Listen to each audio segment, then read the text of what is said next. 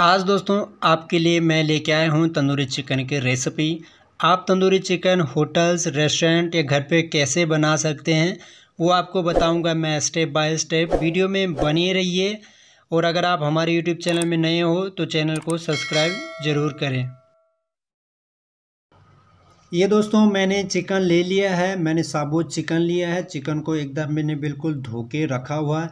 इसमें हम कट लगा लेंगे। दोस्तों, कट लगाना बहुत ज़रूरी है। अगर आप कट नहीं लगाते हो तो जो मसाला है, वो एकदम चिकन में बराबर नहीं लगेगा और चिकन बराबर नहीं पकेगा।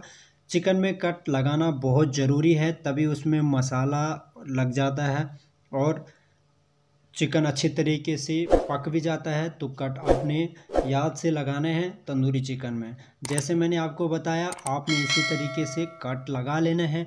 इसके बाद हम इसकी मैरिनेशन करेंगे, यानी फ़र्स्ट मैरिनेशन। सबसे पहले नमक, साथ में अदरक, लहसुन का पेस्ट, इसमें मैंने एक हरी मिर्च ऐड कर रखी थी, और लेमन जूस ऐड कर देंगे इसमें, और इसको अच्छे तरीके से मिक्स कर लेंगे। ये देखिए, आपने भी ऐसे ही मिक्स कर लेना है। अब मैं इसमें मसाले ऐड करूँगा। मसालों में सबसे पहले आपने देगी मिर्च। मैंने यहाँ पे आधा टीस्पून देगी मिर्च ऐड की है। ये देखिए, आधा टीस्पून देगी मिर्च। नमक, एक टीस्पून नमक मैंने ऐड कर दिया है। किचन किंग, एक टीस्पून साथ में हम ऐड करेंगे जीरा पाउडर, एक टीस्पून धनिया पाउडर, एक टीस्पून ऐड करेंगे।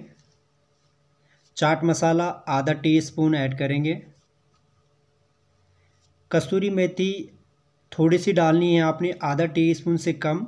साथ में हम ऐड करेंगे सरसों का तेल। दो बड़े चम्मच मैंने यहाँ पे सरसों के तेल के इसको ऐड कर दिया है और इसको भी अच्छे तरीके से मिक्स कर लूँगा। ये फ़र्स्ट मैरिनेशन है, ये बहुत ज़रूरी है और इसमें थोड़ा सा हम धनिया ऐड कर लेंगे और 20 मिनट के लिए हम इसको फ्रीज कर देंगे। ये मैरिनेट हो गया है चिकन चिकन मैरिनेट करने को मैंने रख दिया है। अब मैं मसाला बनाऊँगा तंदूरी चिकन का। ये मैंने डिब्बो ले लिया, इसमें ऐड करूँगा हैंकर्ड।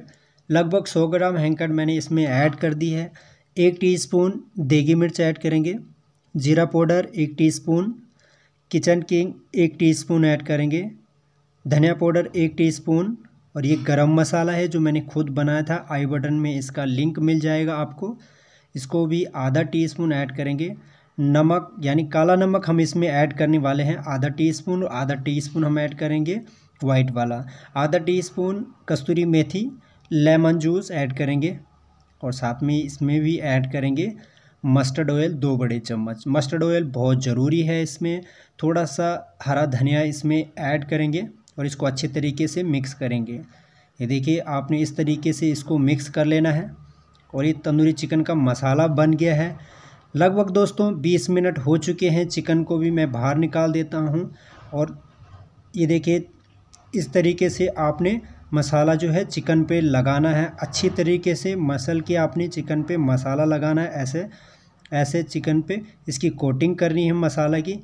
और ये तैयार हो गया। इसमें थोड़ा सा हम धनिया डालेंगे और 20 मिनट के लिए इसको भी हम फ्रीज कर लेंगे।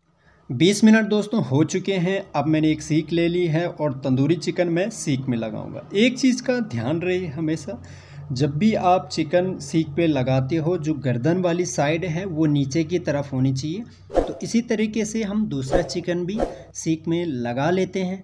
ये देखिए, आपने सीख में इस तरीके से लगा लेना है। हल्का सा इसमें और मसाला लगाएँगे। इसके बाद हम इसको तंदूर में पकाएँगे। ये देखिए, मैंने तंदूर में डाल दिया है। पंद्रह मिनट तक इसको हम तंदूर में पकाएँगे। पंद्रह मिनट तक तंदूरी चिकन को पका लेंगे। इसको ढक लेते हैं पंद्रह मिनट तक। ये दोस्तों पंद्रह मिनट हो चुके हैं। चिकन हाफ़ डन हो गया है। फिर से इसको ढक्कन लगा के प्लाटिंग कर लेंगे। दोबारा ये देखिए चिकन बिल्कुल पक गया है, फुल डन हो गया है। इसके बाद तंदूरी चिकन में दोनों साइड से हम थोड़ा थोड़ा बटर डालेंगे। ये देखिए, इस तरीके से आपने बटर डालना है और तंदूर से चिकन को बाहर निकाल देंगे इसकी सीख साफ़ करेंगे। ये देखिए, तंदूरी चिकन तैयार हो गया है। कलर दोस्तों बहुत ही बेहतरीन आया है चिकन का। आप चाहो तो थोड़ा सा बटर डाल सकते हैं। मैंने यहाँ पे सिर्फ़ चाट मसाला और हरा धनिया डाला है। तंदूरी चिकन दोस्तों तैयार हो गया है। वीडियो अगर आपको पसंद आए रेसिपी अगर आपको पसंद आई है तो वीडियो को कमेंट कीजिए शेयर कीजिए और हमारे चैनल में अगर पहली बार आए हो तो चैनल को सब्सक्राइब ज़रूर कीजिए। मिलते हैं दोस्तों एक नई रेसिपी के साथ। तब तक जुड़े रहिए मेरे चैनल कुकिंग विद मनोज में।